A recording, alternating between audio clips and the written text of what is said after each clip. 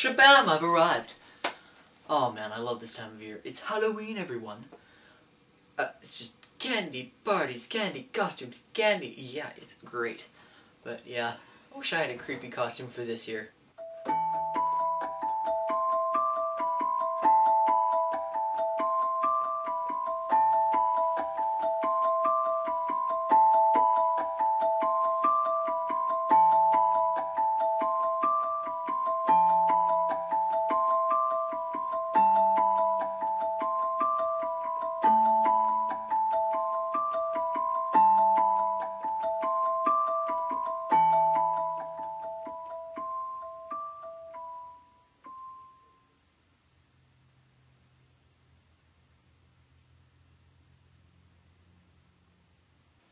Man, that's a creepy costume. I love it.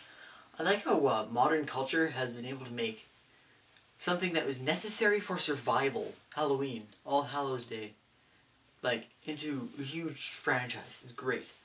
Because, like, back in the olden days, they, they would dress in costumes of, like, demons and spirits to blend in with the demons and spirits roaming about so they don't get killed. Because apparently Halloween night was supposed to be, like, the night where the spirit world came closest to Earth. And yeah, so think about that while you're walking around in a uh, crayon costume. Anyway, um, tell me what you think of my costume, uh, what you're going to be for Halloween, and what I should be for next year in the comment section below.